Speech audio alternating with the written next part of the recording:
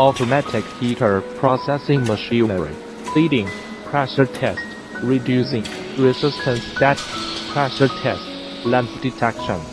Fully automatic production, no need for special personnel to supervise. Manufactured by Feihong Machinery Factory.